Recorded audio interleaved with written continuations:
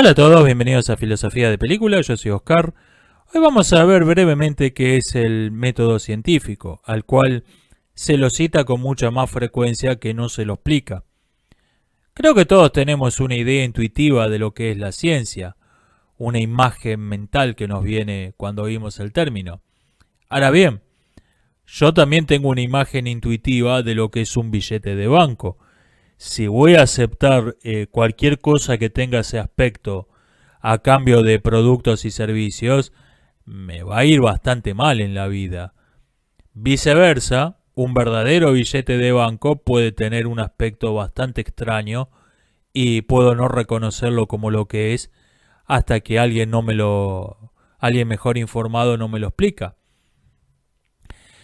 El método científico tiene lo que podemos llamar dos condiciones previas, que son el razonamiento metódico, o sea, pensar en el pensamiento, pensar no solo en esta gallina es blanca, sino cómo sé que esta gallina es blanca, cómo llegué a la conclusión de que la gallina es blanca, en qué se basa mi afirmación esta gallina es blanca.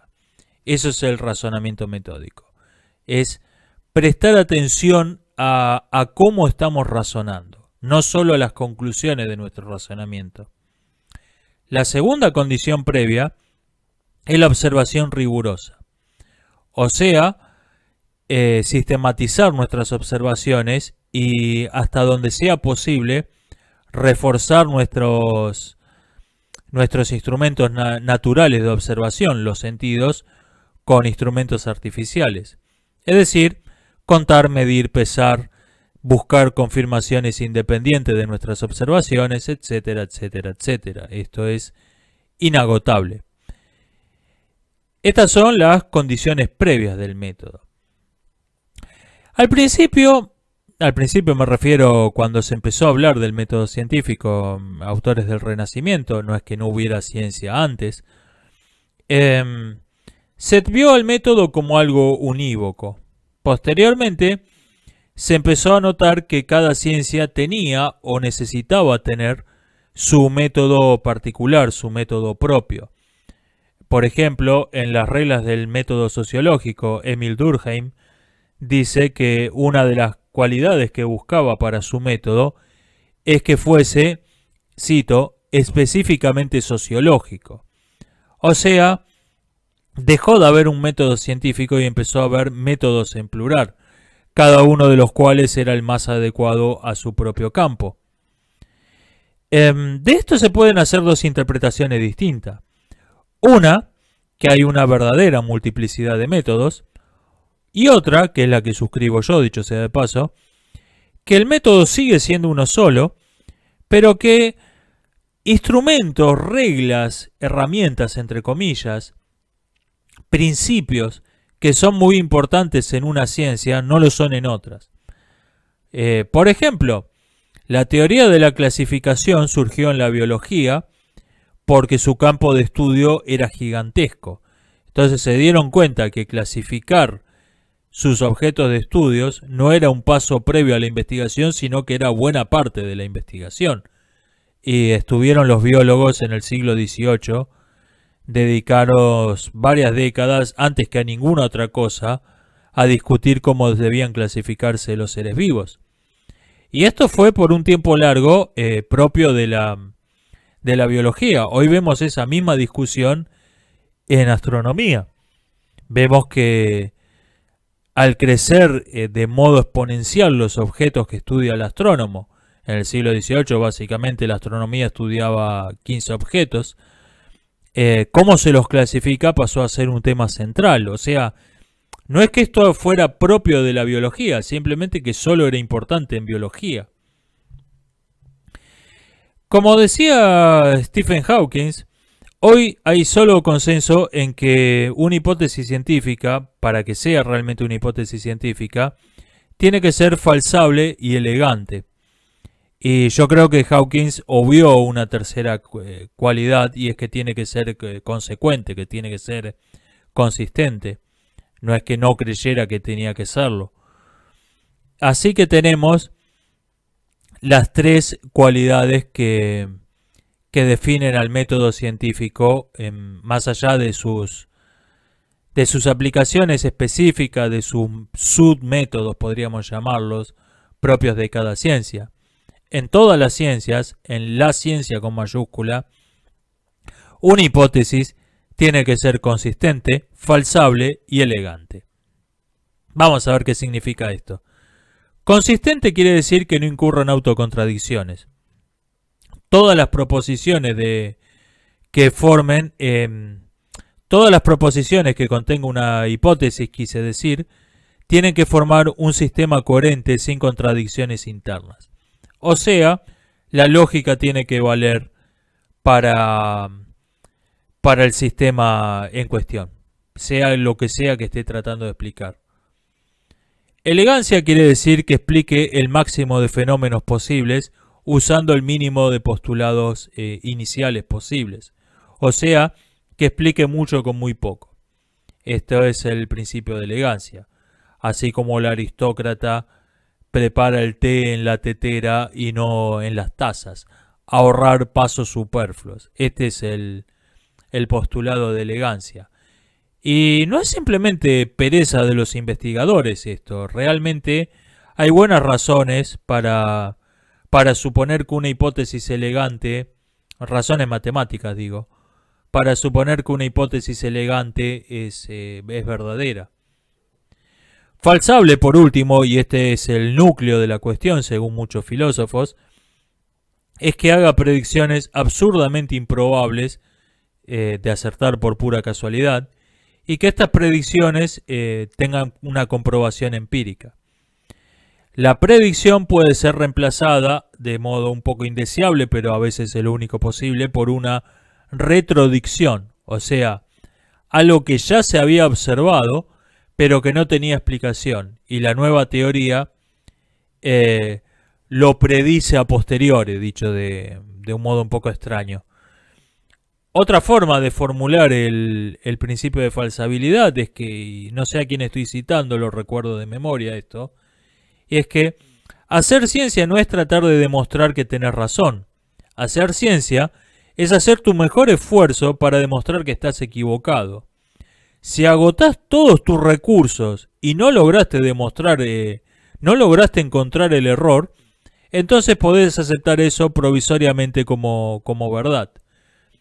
Y este es básicamente el método científico como se lo entiende hoy en día, sin entrar en sin entrar en las polémicas que generalmente tratan sobre relativamente detalles. En línea general, toda persona que, que piensa en serio, que piensa metódicamente, por ahí le hace ruido alguna de estas ideas, pero básicamente coincidimos en esto. A modo de postdata quiero añadir una cosa. Ningún pensador mínimamente serio, al menos no moderno, le ha concedido el menor crédito al principio de autoridad dentro del método científico. Sí queda el, la argumentación ad hominem y las invocaciones a la autoridad como argumento retórico. Ejemplo, lo que acabo de hacer. Ningún pensador serio ha defendido el, principio de autoridad. Eso es un uso retórico del, del principio de autoridad, esto que acabo de hacer.